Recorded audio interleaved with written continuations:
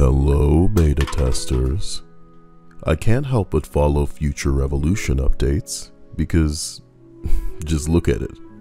It's been two years since Marvel Ultimate Alliance 3 and 15 years since the first Marvel Ultimate Alliance, both of which I regard so fondly, I'm gonna be returning to play them. So follow me on Twitch if you want to be a part of that.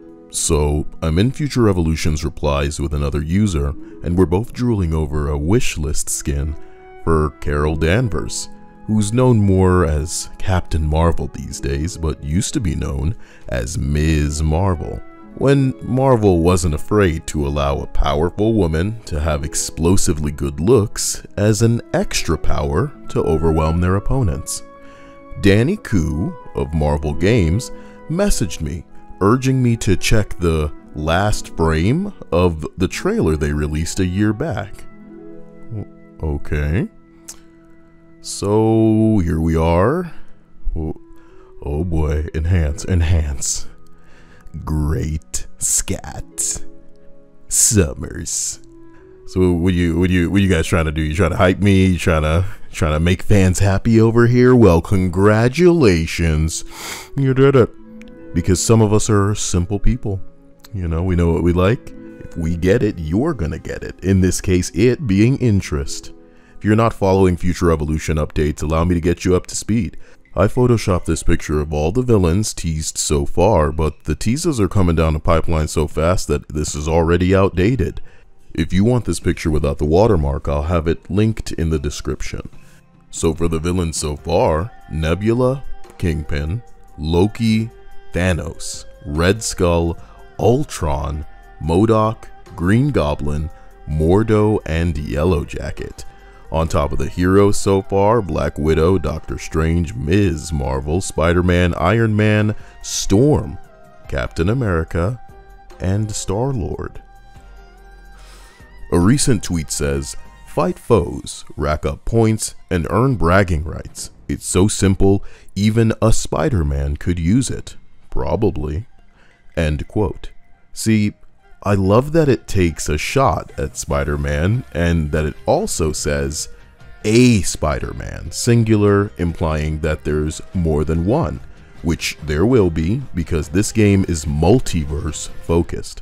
So, you can expect different incarnations or variations of heroes and villains.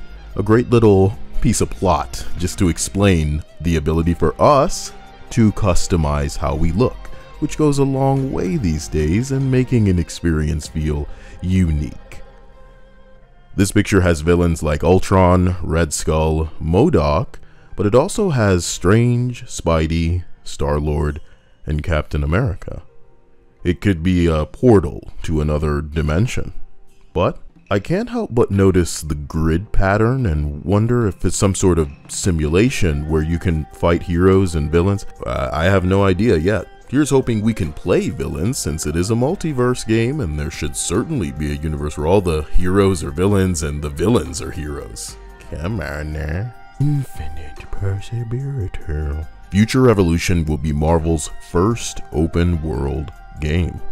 Developed by Netmarble, who handles Marvel Future Fight, and judging by the heroes on display in that game, I'll be happy to see faithful representations of beloved Marvel heroes in their older incarnations, their more modern looks, as well as imaginative new takes that make you wonder what kind of dimension they may have come from.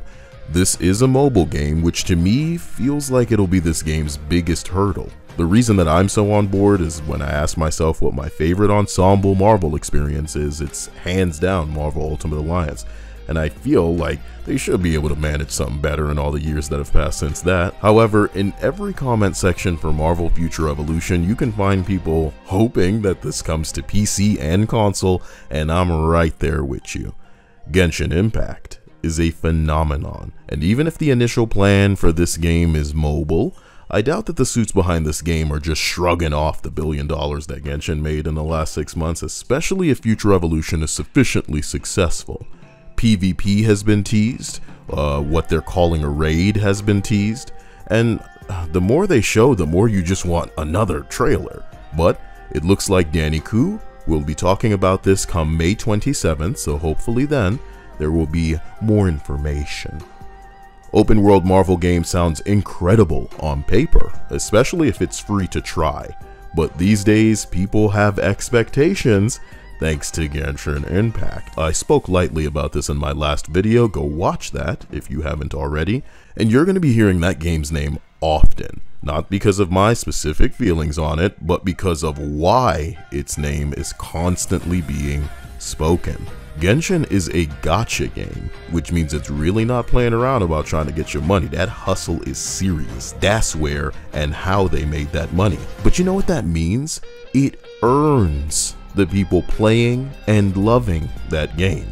Genshin's shockingly high production values grant surprising experiences to most players who had no idea what they were in for when they started playing. Vast areas ripe to be explored, that you'll initially be walking across, but soon you're freezing the surface of water, you're creating wind currents to ride up and then fly across. As you roam, explore, collect resources, harvest materials to incrementally become more powerful, puzzles to solve, monuments to discover, diverse heroes, villains, enemy types, music, hubs, NPCs, charming stories, consistent events that transform the game with experiences that'll knock the I didn't think this was possible right the hell out of your mouth. That in a Marvel universe? Come on, man. Of course we're on board. Am I saying that I want a dating sim, an Animal Crossing, or Fall Guys mini games in a Marvel open world game? Not necessarily. But you know what?